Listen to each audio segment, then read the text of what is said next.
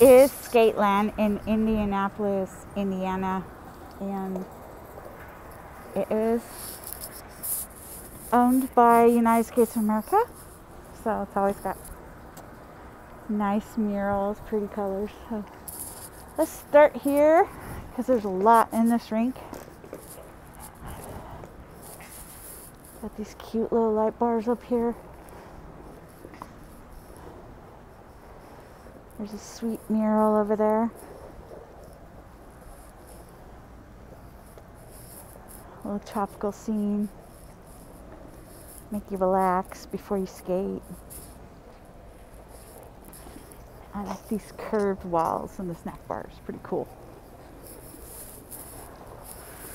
Always roller cafe. More of those curved walls. We got a little circus theme going on here. I always love information about fitness, how many calories you can burn. All right, let's back up here.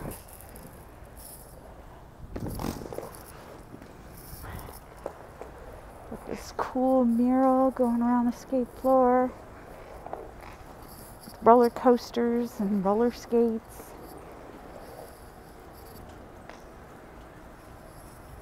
And the dinosaur. All of a sudden, I forgot his name. I'm going to think of it later. Skatosaurus. That's it. All right. The best part is the middle is all walled off, a little island. You got the DJ booth up there. And you got these enormous mirrored balls. Look at that. You got the globe lights going around, different colors.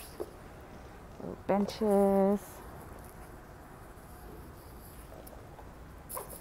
Benches here, the DJ booth. And they got a stage. That's pretty cool. Pardon the mess, it's not in use at the moment. But that is cool. Alright. So this is Skateland, Indianapolis, Indiana. And this is the Skate Critic signing out.